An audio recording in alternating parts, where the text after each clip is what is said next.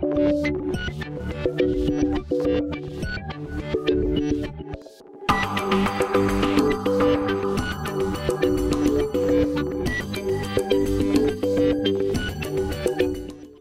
Cuenta con cursos de especialización en Derecho Penal Internacional por la Universidad de Leiden en La Haya, en Holanda. Fue visitador adjunto en la Comisión de Derechos Humanos de la Ciudad de México. En 2014 fue nombrado por México como experto independiente para la revisión del Protocolo Internacional para la documentación e investigación de la violencia sexual en conflicto. También en 2006 fue abogado visitante en el Tribunal Europeo de Derechos Humanos en Estrasburgo, Francia. En 2018 fue nombrado como experto independiente para el programa de la ONU y ante la Asamblea General de la ONU. Ha sido profesor visitante en la Universidad de Costa Rica, en el Instituto Interamericano de Derechos Humanos, en la Universidad de Locerna, en la Academia de Derechos Humanos, en la Universidad de Santa Clara, así como en diversas maestrías en el continente americano. Ha sido ponente en diversos seminarios tanto en Europa, en África y en América, incluyendo capacitaciones a miembros del Poder Judicial mexicano sobre control de convencionalidad y otros temas también tiene publicaciones eh, diversas sobre derechos humanos. Yo le agradezco muchísimo a Jorge que a pesar de que haya periodo de sesiones en corte pueda estar con nosotros y pues presentarnos las dos sentencias eh, a las que me he referido. Bienvenido, Jorge. Eh, te cedo el uso de la palabra. La idea es que Jorge pueda exponer las dos sentencias y deje un espacio de 10 minutos eh, para que si hay algunas dudas de parte de ustedes o comentarios que, tengan puedan aclararlas con él. Gracias, Jorge. Bienvenido. Buenos días a todas y todos. es un honor para mí poder participar en esta jornada eh, académica del observatorio que viene haciendo una función muy, muy importante, no solo para México, sino para nuestra región y también para el sistema interamericano. Así es que agradezco muy especialmente a Magdalena y a Carlos, al doctor Carlos Pelayo por la invitación y bueno, pues me pongo a sus órdenes. El reto que, que me han dado es poder eh, presentar estas dos emblemáticas sentencias, eh, sobre todo para México, en, pues en un lapso de tiempo considerable, que es este, 50 minutos. Y pues como ustedes saben, una sentencia tiene muchas formas de leerse.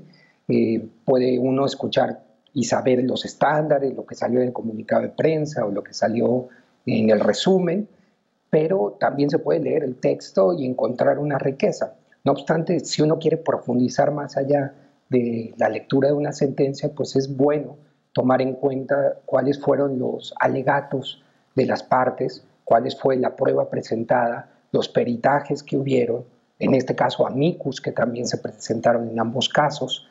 Eh, por supuesto, los pies de página juegan un, un, rol fundamental en la fundamentación y transparencia del estándar que está generando la sentencia y así poder detectar cuáles son los, las líneas jurisprudenciales y también los avances más importantes.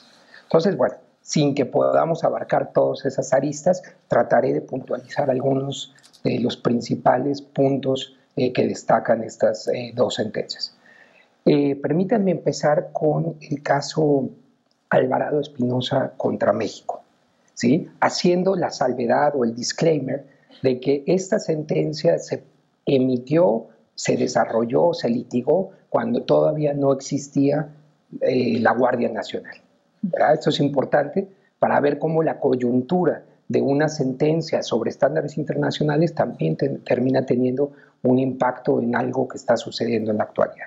Entonces, bueno, habiendo dicho esto, la, la, controversia principal del caso, sometida por la Comisión Interamericana y obviamente respaldada por los representantes, eh, trataba sobre la desaparición forzada de tres víctimas, que eran Itza Paola, José Ángel y Rosgeo Irene, eh, Alvarado, los cuales eran primos y uno tíos, eh, a manos de entre 8 y 10 personas que portaban armas y uniformes militares en el ejido Benito Juárez en Chihuahua el 29 de diciembre de 2009. Entonces la Corte estaba llamada a pronunciarse sobre eh, la responsabilidad del Estado, si había habido o no respecto a esas desapariciones.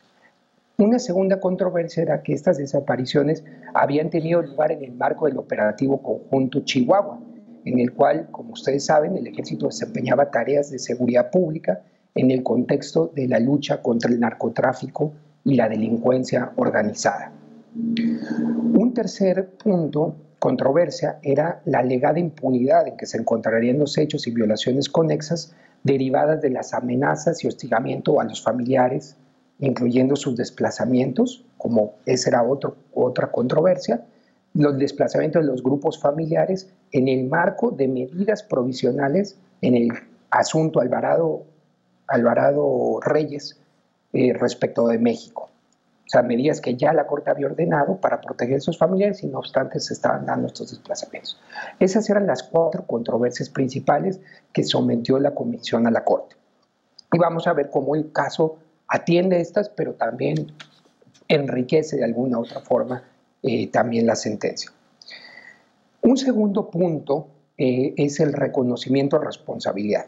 Aquí México, eh, como Estado, reconoció su responsabilidad por la violación del artículo 2 de la Convención por no haber contado con una legislación sobre desaparición forzada de personas que fuera compatible con los estándares interamericanos. Sin embargo, México dijo, bueno, sí, no tenía eh, ley de desaparición, no obstante, ya la tengo. Entonces ya subsané la violación. También decía que eh, al momento de los hechos no había el recurso de amparo, no cumplía con el fin perseguido, porque al haberse interpuesto el amparo en, el caso concreto, se lo desecharon porque las personas desaparecidas no lo fueron a ratificar, ¿no? O sea, un ah, absurdo, pero esto lo reconoce México, pero dice, bueno, pero ya modifiqué, ya tengo una ley de amparo. Y también reconoció la violación del artículo 2, 8 eh, y 25 por la atracción de las investigaciones durante un tiempo, casi un lapso de dos años, ante la jurisdicción militar. Pero también el Estado decía, bueno, estuvo dos años, pero después lo redireccioné eh, a la jurisdicción ordinaria. Entonces se subsanó. Bueno, todo esto fue tomado en cuenta por la Corte como un reconocimiento parcial. No obstante, la Corte dijo, bueno, para determinar el alcance de, esta, de este reconocimiento lo voy a analizar en el fondo, como veremos más adelante. Pero es un, un punto importante. Bueno, un tercer, un tercer punto de la sentencia es lo el desarrollo de lo que llamamos el contexto, lo que en el capítulo de hechos probados tiene como contexto. Ese, eh, como lo han dicho en otras presentaciones, es un, capítulo muy rico, muy vasto en, documentación, en fuentes, y, en, este, en este punto eh, la Corte determinó que en, este, en el presente caso se verificó la existencia de un contexto de desapariciones, así como de un patrón de impunidad en México en el periodo materia de análisis. Ello derivado en parte por la militarización como estrategia de seguridad pública en la guerra contra el narcotráfico iniciada en el año 2006. Entonces vean que este es el primer caso de la Corte Interamericana donde se hace un análisis, un diagnóstico de lo que representó la guerra contra el narcotráfico. Se señala con nombres y apellidos, iniciada por el presidente Calderón en el año 2006, continuada por los diferentes gobiernos, y, se puede, a partir de la documentación de informes de la Comisión Nacional de Derechos Humanos, del Alto Comisionado de Naciones Unidas, de los relatores sobre eh, desaparición forzada y sobre tortura de Naciones Unidas, documenta y diagnostica cómo se dio un especial incremento en la violencia criminal y las violaciones a los derechos humanos asociada a la implementación de los operativos conjuntos. Por eso es que determina que dichas desapariciones se habrían dado durante la implementación del operativo conjunto Chihuahua y la alegada lucha contra el crimen organizado en la zona. Así es que es muy rica esta parte, inclusive señala cómo surge en el estado de Chihuahua, cómo se debe el crecimiento de los cárteles de la droga, cómo eh, eh, es obviamente una amenaza al Estado, pero cómo el Estado, como estrategia de seguridad, implementa este tipo de operativos y mostrando este diagnóstico de incremento en la impunidad. Por otro lado, también en los hechos probados podemos ver eh, lo que tiene que ver con las investigaciones y otros procedimientos que se llevaron a cabo en este caso. Y la Corte destaca que se iniciaron al menos 13 procedimientos de investigación, 7 procedimientos judiciales y 2 procedimientos administrativos. Y no obstante todo eso, a la fecha, después de casi nueve años, se desconoce el paradero de los desaparecidos y tampoco se han esclarecido los hechos ni sancionado a ninguno de los responsables. ¿sí? Cabe destacar que este caso, como ya dijimos, fue turnado a la jurisdicción militar por un periodo de casi dos años y lo cual obstaculizó y fragmentó las investigaciones. Entonces, en este capítulo ustedes podrán ver eh, un diagnóstico interesante de nuestro país, de México, durante todos esos años, con un tema de actualidad que hoy en día se discute, que valdría la pena eh, que en esas discusiones se lea también el, diagnóstico señalado en los hechos y en el contexto. Bueno, después un cuarto punto que es importante señalar es eh, lo que tiene que ver con la prueba para mejor resolver. Las representantes en este caso, a principios del año 2018, eh, cuando todavía el caso estaba en la etapa escrita previo a la audiencia, eh, notificaron a la Corte que había sido aprobado en diciembre del 2017 la que ustedes conocen, la Ley de Seguridad Interior, ¿sí? Y que esta, ley podría ser considerada como un hecho superviniente para la Corte porque eh, cristalizaba eh, esos operativos conjuntos o la presencia del ejército de manera permanente. Por supuesto, eh, bueno, esto derivó también a partir de la aprobación de esa ley que muchos de los amicus curiae que se recibieron en la Corte, más de una decena, eh, posterior a la audiencia, trataban sobre el tema de la ley de seguridad interior. Entonces el caso se redireccionó o tuvo una arista también de esa problemática que se estaba presentando sobre la presencia del ejército en tareas de seguridad pública. Eh, el Estado, por supuesto, objetó que esto no podía ser considerado por la Corte eh, como prueba superviniente, que no tenía nada que ver con el, con el caso, inclusive objetó también los amicus curiae. Eh, posteriormente, el 20 de noviembre de 2018, surge la declaratoria de constitucionalidad de la Suprema Corte de Justicia de la Nación. Entonces, eh, vean que la sentencia fue deliberada el 28 de noviembre del 2018, proyectada muchos meses anteriores. Y el 20 de noviembre es cuando ya eh, esta ley de, seguridad interior es dictaminada como inconstitucional, pero a la par también el, nuevo gobierno, el gobierno electo, venía presentando el Plan Nacional de Seguridad y una iniciativa de reforma ante el Congreso.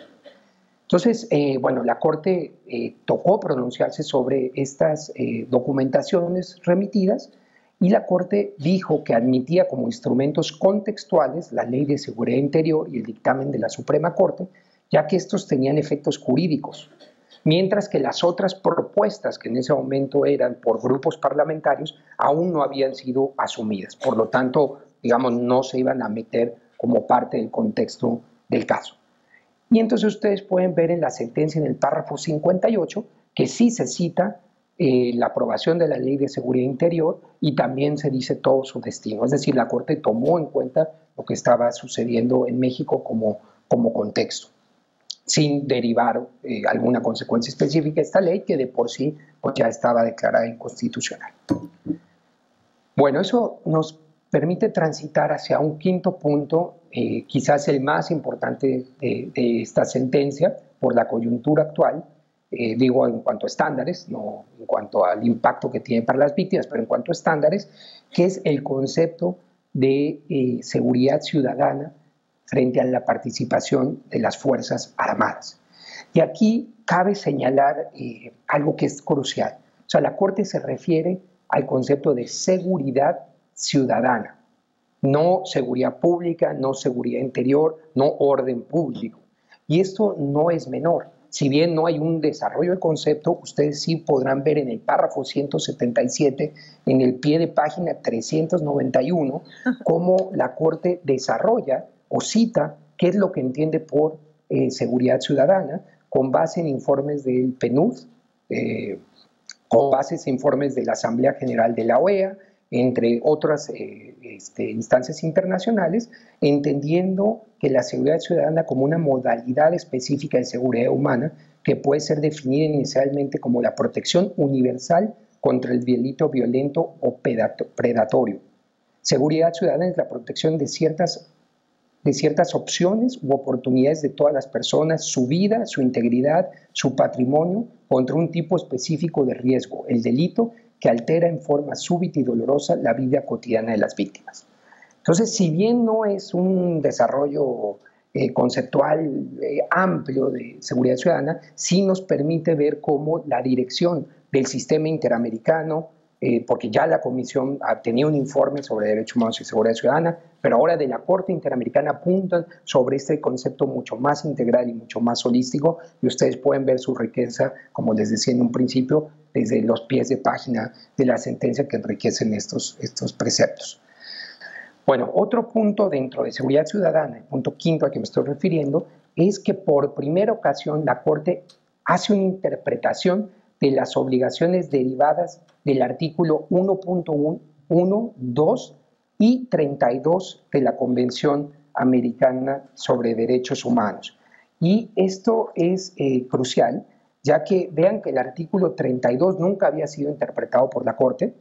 Eh, el, el artículo 30 es el que reconoce que los derechos de la Convención pueden ser restringidos, y esto ha sido interpretado por la Corte restringido bajo ciertas limitaciones. Pero el artículo 32 nos dice que los derechos de cada persona están limitados por los derechos de los demás, por la seguridad de todos y por las justas exigencias del bien común en una sociedad democrática. Es decir, la Convención Americana de Derechos Humanos de 1969 sí contempló que el Estado tenía un deber de proteger a las personas e inclusive restringir ciertos derechos en en el bien de otros. No obstante, aquí lo que dice la Corte es que respecto del deber de los estados de garantizar la seguridad y mantener el orden público y la seguridad de todos, eh, reconoce las graves amenazas para la comunidad que conlleva el crimen organizado, el cual atenta contra la seguridad, la estabilidad y la gobernabilidad democrática de los estados, obstaculiza su desarrollo e impide la vigencia de los derechos humanos de las personas sujetas a su jurisdicción. Es decir, la Corte no desconoce que el crimen organizado, que el narcotráfico es un riesgo para la sociedad y debe de ser combatido. Pero, dice, no obstante, para enfrentar dicha problemática es preciso que los estados actúen en todo momento dentro de los límites y conforme a los procedimientos que permitan preservar tanto la seguridad pública como los derechos humanos. Es decir, existen salvaguardas frente al actuar del Estado.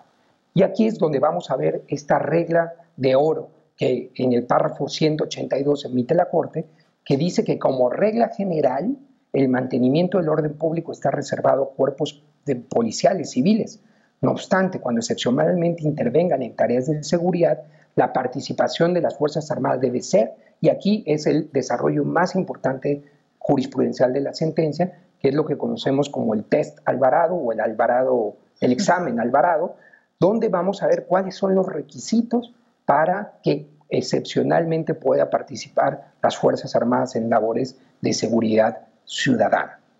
Y esto ya lo han oído muchas veces, pero vale la pena detenerse eh, a analizar cada uno de ellos. La Corte dice que debe ser extraordinaria, subsidiaria y complementaria, regulada y fiscalizada. Pero no son frases eh, monosiglas, son frases completas que contienen otro contenido. Entonces, el primer punto, eh, tómense nota, que lo que había dicho la Corte en los otros casos, como Montero Aranguren y Cabrera y Montiel, no era precisamente este estándar, sino que lo que la Corte decía es que se debía, cuando las Fuerzas Armadas participaran, se debía de atender a los criterios de estricta proporcionalidad, excepcionalidad y debida diligencia en la salvaguardia de las garantías convencionales. Es decir, sí era un estándar más reducido. El estándar, el test Alvarado, nos permite, eh, a la luz de varios eh, instrumentos que pueden ver ustedes citados en los pies de página, enriquecer un examen de cómo pueden participar las Fuerzas Armadas. Entonces, eh, dice extraordinaria, la cual debe estar justificada y ser excepcional, temporal y restringida a lo estrictamente necesario. Entonces, ahí mete varios conceptos de temporalidad, que ya saben han sido debate importante en México, eh, justificada, se debe de explicar por qué es que se va a utilizar las Fuerzas Armadas, por qué va a ser excepcional y restringida a lo estrictamente necesario. Recuerden que aquí la Corte está emitiendo un estándar general, no solo para México, no era para, no existía la Guardia Nacional cuando se emite este estándar, entonces es general, porque habrá situaciones en países donde lo estrictamente necesario sea una región, sea un estado, Si es todo un país, también habrá que ver por qué eso es estrictamente necesario. O el número de elementos que van a participar es lo estrictamente necesario. Es decir, está bastante acotada este eh, estándar de extraordinario. El punto dos es que debe ser subordinada y complementaria a las corporaciones civiles. Y esto no es menor, no es subsidiaria, es subordinada, es decir, tiene que estar por debajo de las corporaciones civiles y complementar en sus funciones. ¿sí? Y acá hay un punto fundamental que también se ha omitido en la discusión, que dice sin extenderse a las facultades propias de las instituciones de procuración de justicia o policía judicial. Entonces, esto es un veto a qué, qué es lo que estas facultades, lo del Ministerio Público, la Policía Judicial o como se pueda llamar en otro estado, pues la facultad de investigar, la facultad de resguardar el lugar de los hechos, la facultad de, resguardar pruebas. Entonces, esto es importante, que lo que el estándar Alvarado está diciendo, el ejército, las Fuerzas Armadas, no puede hacer este tipo de acciones. No se queda solo en lo subordinado y complementario, sino tiene este otro contenido. Otro punto es que debe ser regulada por protocolos de uso de la fuerza y sus respectivas capacidades. Pues la Corte no está pidiendo un tipo de regulación constitucional, puede ser a través de protocolos o leyes secundarias, pero sí donde las Fuerzas Armadas que participen lo hagan con los estándares de uso de la fuerza para eh, cuestiones de civiles y se pide, se exige esa capacitación. También se dice, y esto también es algo novedoso el estándar, que debe ser fiscalizada por los órganos civiles competentes, independientes y técnicamente capaces. Si la Corte no quiso o no se definió ahí un modelo específico de quién tiene que ser el encargado de hacer esa fiscalización. Quizás se deja por principio de subsidiariedad a que sean las propias sociedades, los propios eh, sociedad civil, parlamento, el propio Estado, el que defina las características. Pero para ello como les repito, los pies de página nos brindan información útil para ver de dónde es que la Corte está sacando este estándar y qué tipo de elementos son los que tomó en consideración la sentencia para incorporar esos criterios. Y un, quinto punto que, no, desgraciadamente no quedó en el ABC del test, sino que quedó en el párrafo siguiente, en el 183, y me parece que entonces ahí se ha perdido un poco pero es el que dice que asimismo se debe brindar recursos efectivos para denuncias de violaciones a derechos humanos, los cuales deben ser ventiladas ante la jurisdicción ordinaria.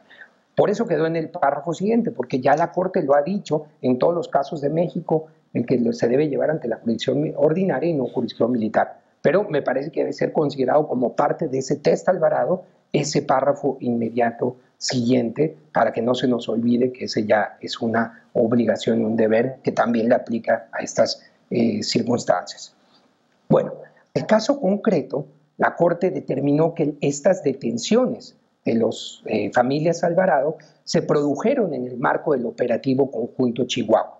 Y dicho operativo no contaba con una regulación o aplicación que previera la excepcionalidad, la temporalidad de la intervención militar ni las demás salvaguardas frente a estas intervenciones ni la fiscalización independiente. Es decir, para que la Corte determine responsabilidad cuando existe esto, también se está valorando eh, no solo las acciones concomitantes que ocurrieron al momento de la detención o posterior, sino si el tipo operativo que se estaba llevando a cabo cumplía con esos requisitos, esas salvaguardas para poder eh, estar operado. Entonces, este sí es un reproche que la Corte hace, inclusive previo a determinar la desaparición forzada y nos parece de la mayor relevancia. Un sexto punto tiene que ver con los estándares eh, de la desaparición forzada. Y aquí cabe recordar lo que el Estado estaba litigando ante la Corte. El Estado lo que decía es, sí, reconozco o sé, reconozco que a estos familiares se les detuvo ese día por personas con uniformes militares y hoy en día están desaparecidos.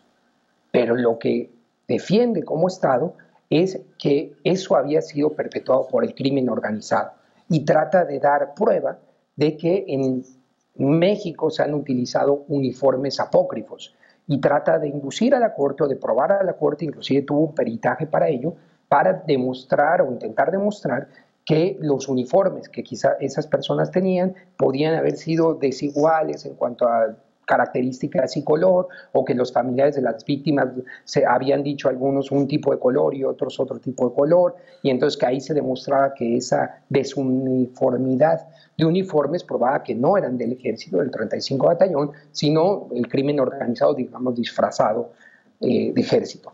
Entonces, eh, el litigio del Estado fue muy fuerte en tratar de, probar estos puntos y es por ello que, bueno, la Corte reitera su jurisprudencia en el sentido que eh, para casos de desaparición forzada, el uso de importancia de la prueba circunstancial, los indicios y las presunciones para demostrar la concurrencia de cualquiera de los elementos es válido. Es decir, un caso de desaparición eh, se trata de justamente de, de borrar la escena del crimen, de desaparecer a las personas y, por ende eh, es imposible quizás probar que las personas fueron desaparecidas por personas, pues si no, no estarían desaparecidas. Entonces, la Corte admite y reitera la importancia de estos indicios del contexto. ¿sí? También la Corte reitera su estándar sobre la desaparición forzada como violación múltiple y permanente de los derechos humanos, en la cual no es necesario que se pruebe como sucede en el derecho penal interno, la responsabilidad del Estado más allá de toda duda razonable y que se identifique individualmente a los agentes a quienes se les atribuye estas violaciones. Es decir, basta probar que el Estado fue responsable, ya saben, por comisión directa, por aquiescencia o tolerancia, pero no es un estándar eh, penal, sino de responsabilidad extracontractual. ¿Y qué pasa con la adjudicación de responsabilidad? Eh, la Corte, en la sentencia, toma en cuenta para poder hacer esa concatenación de elementos el contexto en que ocurrieron los hechos, lo cual ya lo mencionamos anteriormente, las alegadas graves violaciones a derechos humanos e impunidad crónica como fenómeno de especial gravedad en el estado de Chihuahua, donde se tenía un índice altísimo de desapariciones forzadas ya documentadas por organismos nacionales e internacionales. También toma en cuenta el estándar que ya hicimos del test Alvarado, de la participación de las Fuerzas Armadas en labores de seguridad ciudadana sin las eh, debidas salvaguardias que regían su intervención excepcional. Toma en cuenta las testimoniales de familiares, testigos e inclusive funcionarios públicos, observaciones de diversos órganos internacionales internos, la Comisión Nacional de Derechos Humanos y el equipo internacional de peritos, que había sido parte de prueba del de las medidas eh, provisionales en el asunto Alvarado Reyes, la negativa de reconocer la detención o la falta de proveer información sobre el paradero. Bueno, todos estos elementos conducieron de manera contundente en acreditar la participación de agentes estatales en las tres detenciones de las víctimas y su posterior ocultamiento. Obviamente esto es un resumen, eh, ustedes pueden ver ese, ese capítulo, también es muy, muy prolijo, muy condensado en tratar de probar eh, todos estos elementos, todos los testimonios de los familiares, toda la prueba que dieron los representantes de las víctimas eh, para poder llegar a esta conclusión. Un séptimo punto de la sentencia es lo que tiene que ver con la debida diligencia en las investigaciones. Y aquí, eh, bueno, por cuestiones de tiempo, nos falta lo otro, permítanme solamente señalar que pues digamos, a más de nueve años de, las investigaciones, no se había eh, tenido resultados, obviamente se violaba el plazo razonable, también eh, se evidenció que la búsqueda de los desaparecidos no había sido exhaustiva ni eficaz, tanto en los primeros momentos como durante las investigaciones, y todo esto contribuyó también en la fragmentación y dilación de los diversos procedimientos, Recordamos también eh, que estuvo el proceso ante la jurisdicción militar casi dos años, lo cual también obstaculizó eh, las investigaciones y lo que ya se dijo que conllevó también a la violación del artículo 2 con el 825, que era que el recurso de amparo no cumplió sus efectos y tampoco existía una ley de desaparición forzada de personas. Y un dato ahí eh, también curioso, eh, se había alegado una violación del artículo 7b de la Convención de Belén do Pará porque dos de las personas desaparecidas eran mujeres. Bueno, esto no lo encontró por probado en la Corte, siendo que ante la FEBINTRA, que era una Fiscalía Especial en Violencia, se habían hecho diversas investigaciones y la Corte no encontró elementos para determinar que el móvil había sido por eh, cuestiones de género, pero lo pueden leer eh, mejor ahí en la sentencia. Un octavo punto tiene que ver con los desplazamientos y las medidas provisionales eh, que se tenían en este caso. Acá el reproche que se le hace al Estado es que posterior a los hechos de desapariciones, diversos familiares recibieron amenazas de muerte de distintas naturalezas y la mayoría o casi todos tuvieron que salir de su lugar donde vivían, del ejido Benito Juárez, a diversas partes del país o inclusive fuera eh, de México pidiendo inclusive asilo. Y esto, todo esto sucedió ya estando en vigencia las medidas provisionales del asunto Alvarado Reyes eh, contra México eh, desde el 26 de noviembre de 2010. Por lo tanto, eh, se le reprochó que el Estado no proveyó las garantías suficientes para la protección ni las garantías de retorno para los familiares. Esto conllevó la violación del artículo 22 y ello afectó también el núcleo familiar, la violación del artículo 17. Y aquí viene un dato también importante eh, jurisprudencial, que es que por primera ocasión en la historia de la Corte se declara también el incumplimiento del artículo 63.2 de la Convención, que es el que tiene el mecanismo de medidas provisionales, porque el Estado no tomó medidas adecuadas para proteger a las víctimas. Esto es, digamos, más allá de, lo que ahorita estamos comentando, es un debate académico eh, a, nivel de derecho internacional público. Ustedes podrán ver diversas publicaciones, eh, votos del juez, por ejemplo, Cansado Trinidad, en donde se dice si los mecanismos como las medidas provisionales son eh, mecanismos autónomos que se pueden declarar eh, violados eh, como tal o incumplidos o si simplemente son, como venía haciendo la Corte, medidas que no tienen consecuencia su incumplimiento.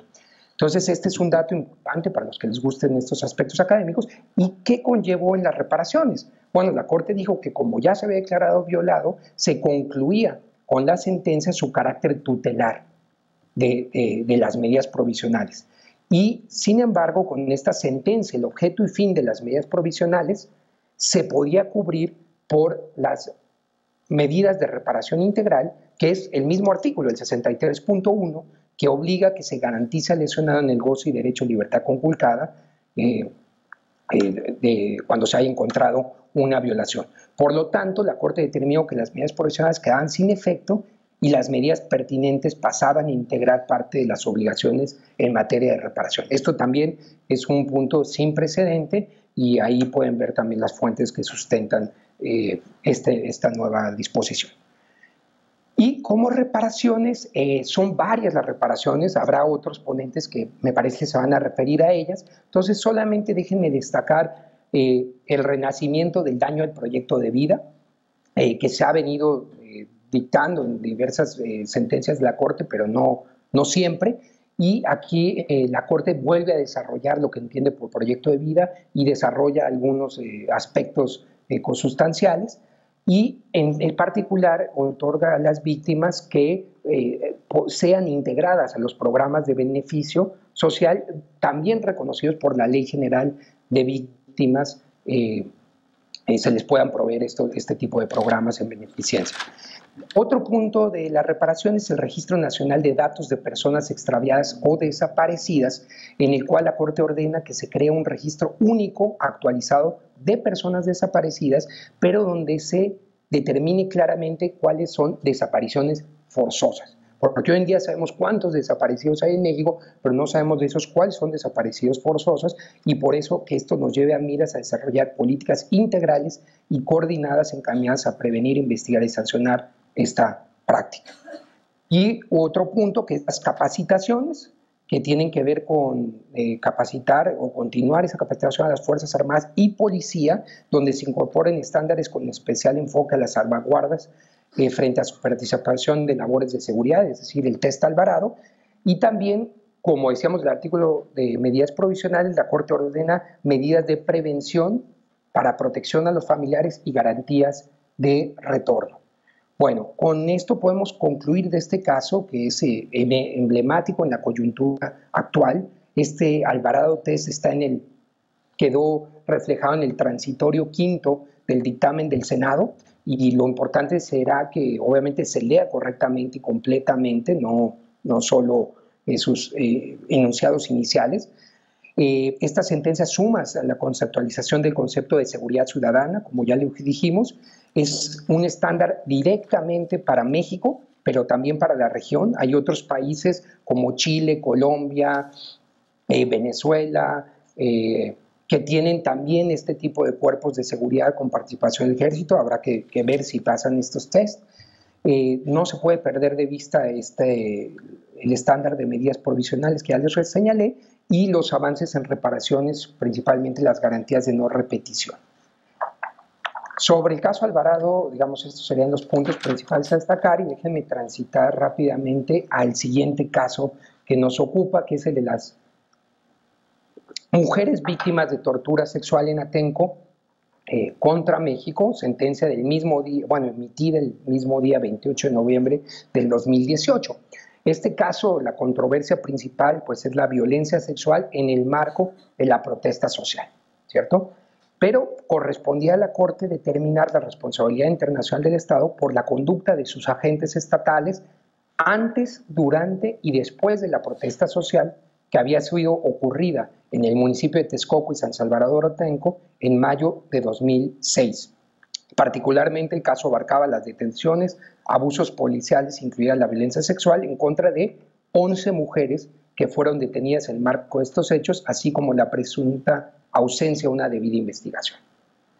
Los derechos que estaban en juego eran la integridad personal, la vida privada, la prohibición de tortura, la libertad personal, el derecho de defensa, la obligación de investigar y la integridad personal de los familiares. Este caso fue también muy relevante en los antecedentes contextuales.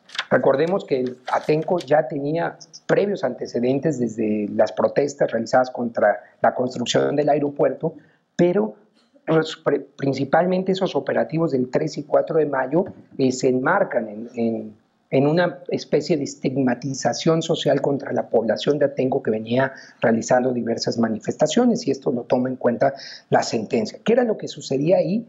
Eh, de estas 11 mujeres, dos eh, de las víctimas habían acudido a las manifestaciones para cubrir eventos como periodistas, tres para documentar los hechos como parte de sus estudios, dos para brindar asistencia de salud a los manifestantes heridos y las cuatro restantes se encontraban realizando actividades normales que eran como simples transeúntes o civiles que estaban en la proximidad de las manifestaciones. ¿sí? ¿Dónde surgen los problemas? Bueno, desde la represión, en la detención, pero sobre todo en los traslados al CEPRESO. En esos traslados fueron sometidas a diversas formas de violencia, incluidas violación sexual. Y cuando llegaron al CEPRESO, a los penales, también recibieron tratos denigrantes por parte de los médicos que las atendieron. También la, sentencia hace cuenta que después del operativo hubo una serie de comentarios muy desafortunados por parte del gobernador del estado, en ese momento Enrique Peña Nieto, y el comisionado de la Agencia de Seguridad Estatal, por medio de declaraciones públicas donde ponía en duda la credibilidad de las denuncias de abuso, acusándolas de guerrilleras y negando lo sucedido ante cualquier investigación. Este caso conllevó en que el 16 de octubre de 2006 la Comisión Nacional de Derechos Humanos emitió una recomendación donde identificó diversos abusos y también el 12 de febrero de 2009 la Suprema Corte de Justicia dictó una sentencia con base en su facultad de investigación donde concluyeron la concurrencia de graves violaciones a derechos humanos. Bueno, ¿qué trata aquí el fondo eh, del asunto? Tenemos el uso de la fuerza y la protesta Salud social. Eh, la Corte reiteró estándares de uso de la fuerza que ya habían venido consagrados, sobre todo desde el caso Nadesh Dorsema contra República Dominicana, respecto a los principios de legalidad, absoluta necesidad y proporcionalidad, y a la luz de esos estándares, la Corte concluyó que existió un uso de la fuerza de manera indiscriminada y excesiva, ya que las 11 mujeres estaban ejerciendo conductas completamente pacíficas, por lo que el uso de la fuerza no era legítimo ni necesario, pero además había sido excesivo e inaceptable por la naturaleza sexual y discriminatoria de las alegaciones sufridas. El uso de la fuerza fue resultado de la ausencia de la falta de regulación adecuada, falta de capacitación a los agentes y de la supervisión y monitoreo en efectividad del operativo. Y por lo tanto, la Corte también concluyó que en relación a siete de las once mujeres, el Estado había vulnerado el derecho de reunión al hacer uso excesivo de la fuerza para reprimir las manifestaciones. Esto tiene que ver con la protesta social y el derecho de asociación. Formas de violencia sexual como género, pero también existió violación sexual a algunas de las víctimas. También determinó que hubo discriminación por razones de género y, vean, este es un punto que la Corte nunca se había pronunciado, violencia verbal basada en estereotipos de género, que la reducía a una función sexual o doméstica, por lo que el hecho de que no estuvieran cumpliendo sus funciones, por ejemplo, en la casa, que les decían que, estaban haciendo revoltosas, ameritaban este castigo. Por lo tanto, la Corte encontró esto como un factor de discriminación y de violencia sexual. Y esto conllevó a que la Corte determinó que eh, todas las víctimas eh, recibieron, fueron víctimas de tortura por el conjunto de abusos y agresiones sufridas. Inclusive encontró un agravante adicional, es que las torturas en este caso fueron utilizadas como forma de control social y represivo, como mensaje de desaprobación de los medios utilizados para la protesta y recuerden que la Corte ya lo había dicho en casos de conflicto armado como la masacre de los dos R's, donde la violencia sexual se utilizaba como arma de guerra. Bueno, aquí la Corte dice, se utilizó la violencia sexual como arma de represión por la protesta social. Entonces, este, esto nos aporta de manera importante este caso. También hay un, tema sobre las detenciones, la prisión preventiva. Se determinó que las detenciones habían sido ilegales y arbitrarias, ya que no se demostró la supuesta flagrancia y no fueron también las víctimas informadas sobre su detención y se violaron varios eh, conceptos del derecho de defensa. Pero un punto muy relevante para México es que se calificó la prisión preventiva y se dijo que esta había sido arbitraria al no responder la finalidad legítima de la convención. Recordemos que un estándar ya multicitado por la Corte es que para poder restringir la libertad de una persona, cuando todavía no ha sido condenada, sino sometida a un proceso, tiene que cumplir con dos requisitos. Uno de ellos es el principio de necesidad, de que, la, de que sea necesario restringírsela, o sea, privarlo de la libertad porque el acusado puede impedir el desarrollo del proceso o eludir la acción de la justicia. Y por otro lado, es que se deben de llevar revisiones periódicas respecto a la necesidad. Bueno, en este caso, ninguna de las dos eh, estándares se, cumplieron. Respecto a las investigaciones judiciales, eh, en, este caso de Atenco, eh, la Corte determinó que se llevaron a cabo sin perspectiva de género. Hubo muchos estereotipos en la investigación y tampoco hubo debida diligencia frente a los hechos de tortura. No se identificaron a todos los responsables, y esto también es muy importante porque en este caso sí había algunas personas detenidas, algunas personas procesadas, pero se señaló que tenían que ser eh, investigados y procesados todos los responsables, incluyendo la cadena de mando. Y esto pues nos lleva hasta las más altas autoridades que en ese momento eh, tuvieron conocimiento del operativo, por lo cual no, no, no es una, una, declaración menor y esto tiene también su consecuente eh, medida de reparación de llegar a investigar esas vías. Bueno, las reparaciones, eh, no me voy a referir a ellas porque van a ser abordadas en los siguientes paneles, sobre todo por el Centro de Derechos Humanos Miguel Agustín Pro, pero también cabe destacar que eh, se, se, dio una medida correspondiente al daño del proyecto de vida, sin calificarlo como tal, pero con becas de estudios para las víctimas del caso. Bueno, como conclusión, de estos dos casos podemos decir que si bien Atenco trata sobre policías, sobre todo estatales, en operativos represivos, digamos, de una manifestación, el caso Alvarado trata sobre fuerzas armadas del ejército con operativos conjuntos con policía federal. Pero el eje que conduce los dos casos es que tratan sobre el deber del Estado frente a la seguridad ciudadana.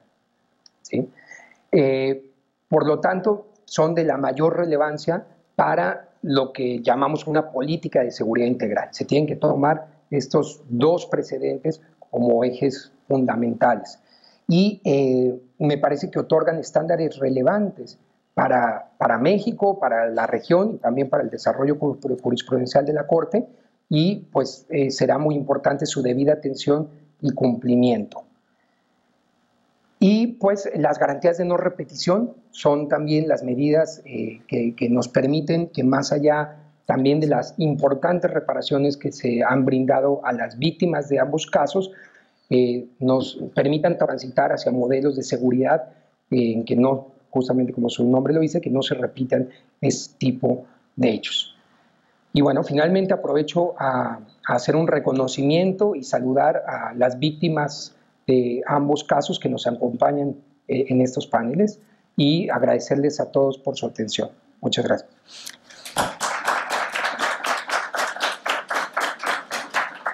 Jorge, muchas gracias por la presentación de los dos casos. Yo no les voy a robar minutos al, auditorio para poder tener, si quieren preguntarle algo a Jorge, si tienen alguna duda de alguno de los casos, para poder hacerlo antes de cerrar este, esta, este espacio. Están pasando la palabra, Jorge. Sí. Buen día. Felicidades por su ponencia, doctor. Ante la situación que tenemos en México ya con la Guardia Nacional, pues, ¿qué nos sugiere a la sociedad civil cuando sabemos que no están capacitados, que no se tiene protocolos, que no tenemos nada y sí tenemos sentencias? Oriéntenos, por favor. Jorge, ¿te parece que tomemos todas las preguntas? Sí, sí, sí, o al, menos tres o cinco. Buenos días. Tenemos, creo que todavía como 12 minutos, ¿verdad? Buenos días, abogado. Sí. Este, oiga, ¿podría repetir el pie de página que citó con relación a el, me parece que fue el test? Por favor. Solo para tomar nota. Muchas gracias. Sí, perdón, ¿puedes repetir el pie de página cuál? El pie de página respecto del test. Ok. Sí, gracias. Sí, mm, buenas tardes, eh, abogado. Eh, Enrique Mesa, de aquí del, bueno, soy asistente aquí del instituto. Una, una cuestión que a, mí me llama la atención respecto de las medidas de reparación. Si bien el, el test eh, Alvarado, como usted lo ha nombrado, menciona todas estas, estas salvaguardas específicas que en el deber de garantía deben de tener los estados al eh, verse orillados a la necesidad de, em, de, emplear a sus Fuerzas Armadas en labores de seguridad ciudadana, en las medidas de reparación eh, y eventualmente en, la supervisión de cumplimiento de la sentencia, me parece que la Corte no hace, con excepción de las capacitaciones, en donde le ordena al Estado que por un periodo de tres años eh, de manera anual le remite informes para eh, verificar el cumplimiento de esta obligación respecto de, digamos, esta, de esta intervención, respecto a la intervención con estas salvaguardas de las Fuerzas Armadas, en el caso de México no dicta una medida específica de reparación, es decir, finalmente no, no establece un mecanismo en cómo va a verificar que justamente el Estado, eh, ahora lo vemos incorporado justamente en el quinto transitorio, eh, vaya a verificar esta participación de las Fuerzas Armadas, en tanto se consolida la Guardia Nacional, nos ha dicho nuevo gobierno, de manera extraordinaria, regulada, fiscalizada, subordinada y complementaria. Eh, ¿Cuál sería, digamos, el, el no sé si nos pudiera hacer algún comentario en este sentido?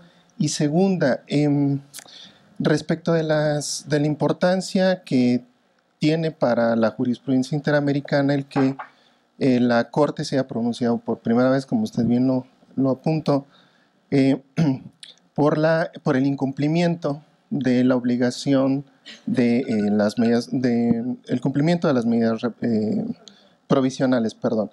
Y esto es particularmente notorio. en, el, en, las medidas provisionales que se emiten desde mayo, desde, sí, desde mayo de 2010 hasta las últimas que son de diciembre de, 2010, ah, de marzo de 2018, había ocho medidas provisionales que eh, el Estado no estaba dando cumplimiento desde algo muy elemental, que era la, eh, el, que se lo hace notar en estas medidas, que era el informe, el informe de riesgo.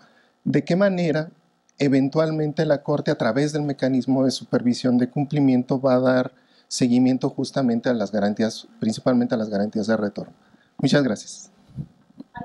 Yo nada más tengo una pregunta. Hola Jorge, buenos días. Soy Fernanda del Observatorio. Yo nada más te quisiera eh, pedir como tu opinión, porque como comentaste en tu exposición, eh, el dictamen del Poder Legislativo respecto a la Guardia Nacional tiene una referencia expresa al caso Alvarado. O sea, fue muy aplaudido tanto por la academia como por la sociedad civil respecto a esta referencia al estándar de Alvarado como de que el Estado mexicano no está ignorando lo que, a lo que se le condenó y lo que está obligado. Sin embargo, eh, la operación de la Guardia Nacional todavía es muy, pues muy oscuro. Eh, sobre todo porque hoy, en estos momentos, eh, se está, el senador Martí Batres está declarando básicamente la, el que pasó ya en todos los congresos, entonces ya es una reforma constitucional consolidada. Y, o sea, mi, mi, pregunta va en cuál es tu opinión respecto a que el Estado en, en, el caso Alvarado estaba diciendo que no conocía la situación de riesgo, básicamente, que entonces ahí fue que eh, en la sentencia se explicaron todos los informes de la ONU, se explicó todo el contexto de violencia, inseguridad, crimen organizado, etcétera. Y además aquí podría verse que se está consolidando como que sabe la situación de riesgo, estás tomando una, una decisión de crear un cuerpo amorfo entre civil y militar que puede estar en contra de los estándares, pero eh, en ese sentido, ¿cuál sería entonces la tarea del Estado para que no vaya más allá o más bien para que no contravenga lo que dice la sentencia Alvarado y tanto la de Rosendo, de Valentina Rosendo Cantú, etcétera, en las que se le ha dicho al Estado no puedes usar militares en tareas de seguridad pública porque casi casi de facto hay una violación a derechos humanos. Y ya, gracias. Bueno, gracias por sus preguntas y su interés. Eh, voy a temer eh, decepcionarlos eh, en el sentido de las preguntas relacionadas con la Guardia Nacional porque, eh, digamos, la sentencia que fue emitida todavía está en periodo de posible eh, interposición de lo que se llama el recurso de, o digamos, una interpretación de sentencia. Entonces no sería prudente de mi parte pronunciarme sobre eh, algún aspecto de la Guardia Nacional porque no, no nos gustaría incidir en ello y también pues, la Corte no se ha pronunciado sobre la Guardia Nacional. Entonces les pido una disculpa digamos, sobre los hechos públicos y notorios, eh, ya mencioné algunas cosas, o sea, sabemos que está eh, en el transitorio, sabemos que se utilizó. Lo que sí puedo decir que, digamos, eh, la Corte en ningún momento de su jurisprudencia del caso Montero Arangure, Cabrera y Montiel, etcétera, dijo que había una prohibición total de que las fuerzas, de, fuerzas Armadas participaran en labores de seguridad pública. Ese estándar se buscó, o sea, ningún órgano de la ONU, ningún órgano en especial lo dijo como una prohibición tajante. Siempre se encontró que la seguridad pública tenía que estar reservada a las eh, corporaciones civiles, pero se, lo que se recoge ahí en los estándares que ustedes pueden ver eh, es que hay una excepcionalidad para que puedan eh, participar. Y ahí es donde este test ofrece algunas luces para cómo debe de ser restringido. Entonces, digamos, mi llamado, más allá de, como les decía, no entrar a evaluar eh, la Guardia Nacional, sería que si ya esto está en el transitorio, pues se haga valer, pero se haga valer de manera completa. Por eso decía ahí solamente quedaron las palabras eh, extraordinario, subordinado, complementario, regulado, fiscalizado, pero no la frase completa. Eh, va a ser muy importante que se le dé contenido a esa frase y que, se, que obviamente se haga realidad qué es cada uno de estos preceptos. Yo llamaría eso y me parece que en esa medida, eh, haciendo un adecuado control de convencionalidad, digamos, podría ser positivo lo que se derive de, ese transitorio, pero pues todavía está en unas etapas eh, muy iniciales, no, ha habido la regulación completa. En cuanto a el pie de página que me solicitan, yo al que hice referencia era al de donde se dice seguridad ciudadana, que es el pie de página 391, y en el test Alvarado pueden remitirse a partir del pie de página 407, que es el párrafo 182, pie, pie de página 407, y ahí viene todos los, los eh, soportes de esas citas. En cuanto a la pregunta que nos hace Enrique, eh, sí, efectivamente, pues es, una, es una observación interesante. Eh, ¿Qué consecuencia tuvo esto en reparaciones? Pues sí, la Corte no determinó una violación en el fondo al artículo 2, digamos, por no estar regulado la participación de las Fuerzas Armadas. Lo hizo de otra manera.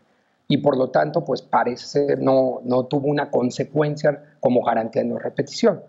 No obstante, lo que sí podemos decir es que eh, el estándar está ahí, la obligación de hacer un control de convencionalidad existe y es una obligación para México y lo que se espera, como digamos ha venido sucediendo en cierta manera en diversos foros, es que lo que se espera es que el Estado mexicano haga un control de convencionalidad de los estándares eh, ahí recogidos, aunque no haya una orden específica, que en ese momento pues no existía ya ni la Ley de Seguridad Interior ni la Guardia Nacional, entonces quizás no, hubiera sido un poco eh, precipitado decir cómo debía ser. Y en cuanto a las medidas provisionales, eh, efectivamente es algo bastante relevante que se tiene que estudiar, que se tiene que analizar, se puede criticar, pero va a tener una consecuencia, me parece importante para otros casos, porque esto es que las medidas provisionales, cuando se incumplen, no es solo que la Corte va a emitir una resolución de, supervisión de medidas o una audiencia, sino que inclusive le puede acarrear una violación y ERCO, eso deriva en reparaciones, las cuales pueden ser reparaciones desde protección, desde garantías de retorno, como en este caso, o inclusive indemnizaciones. Entonces estamos hablando que la medida provisional incumplida también puede acarrear eh, un, gasto, una responsabilidad adicional para el Estado. Y esto no es menor.